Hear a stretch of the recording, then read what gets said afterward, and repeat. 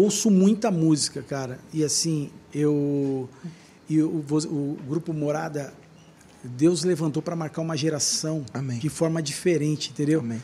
E eu tenho pedido muito para Deus é, essa essa direção com algumas letras da, na palavra, Aham. que eu sempre escrevo alguma coisa, tipo as minhas letras são sempre na palavra, eu não consigo escrever nada por encomenda, Sim. não adianta que não sai. Eu tenho que estar vivendo ou ouvir uma palavra que mexeu comigo.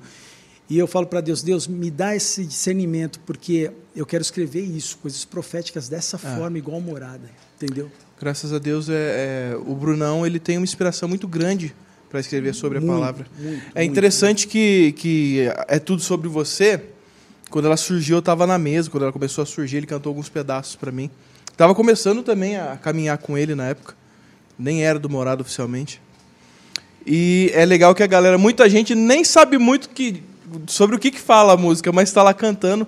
Mas fala sobre esse caminho de, do povo colocar em Moisés essa, Não, essa, essa ali, busca de ser a voz entre Deus e eles. Não, é incrível, é incrível. É tremendo, é tremendo. é o E pessoal. assim, eu, eu louvo a Deus, cara, assim, porque o, o Brunão, ele, ele é uma referência para mim hoje. Falando sério Glória assim, cara, ele é uma referência como, como, como ministro, como servo de Deus, como Amém. letrista, sabe? Como cantor.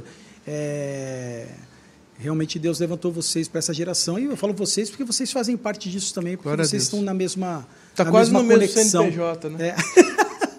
É, É do grupo. é Eu Deus. sou mesmo do Morado, então. Aí. Mas o. Obrigado. Fique à vontade.